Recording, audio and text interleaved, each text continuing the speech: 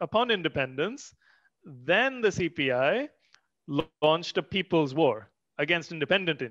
So from 1947 to 48, or uh, 48 onwards, uh, they launched the slogan uh, with approval from Moscow because uh, Stalin didn't like Nehru. He thought Nehru tried to flatter him too much and uh, was not actually committed to socialism. He just wanted the aesthetics of socialism without mm-hmm. any of the uh, practical benefits. So, you know, Stalin, in his infinite wisdom, saw through the facade of Nehru, who wanted like a posh English version of, uh, of socialism.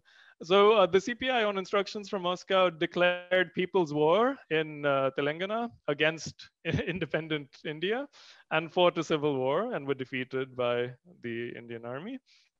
And uh, after that, you know, they would pass resolutions. So the, the there was the slogan "Ye azadi jhuti hai." So they would say, "Oh, you know, this is false independence. The uh, constitution is a charter of slavery. Uh, Nehru, he's just creating a police uh, state, a fascist police mm-hmm. state run by brown Englishmen."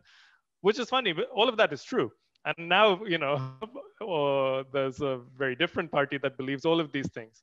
Uh, and uh, then what was funny is that as Nehru grew closer to the Soviet Union in foreign policy, Moscow instructed them to dilute this. So the criticism of the Congress and Nehru started getting diluted with every party Congress. So soon they were saying, "Oh, India is a semi-colonial state, but mm-hmm. you know, mm-hmm. but uh, you know, Nehru is, is not you know such a bad guy."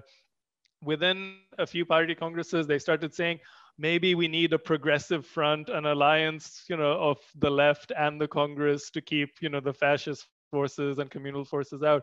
So basically, the CPI was, you know, remote controlled. It was created abroad, mentored abroad, got its instructions abroad, and was not organic. Uh, did not have grassroots support or any localization of the theory. They did what London and Moscow told them respectively during different eras.